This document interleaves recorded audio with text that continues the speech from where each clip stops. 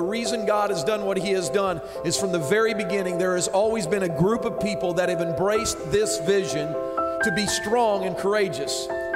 Listen, to be strong and courageous does not mean you're not afraid. Courageous is being willing to walk in faith one step at a time despite your fears. From the very beginning, people have joined together around a vision to reach those that are unchurched with the gospel of Christ. Their courage has been blessed by God because they've walked in faith. And today we celebrate not one, not two, but many who have been strong and courageous. And I would say to you that as we go forward, the same message is true. We must be strong and courageous in the power of Christ as we obey Him by faith.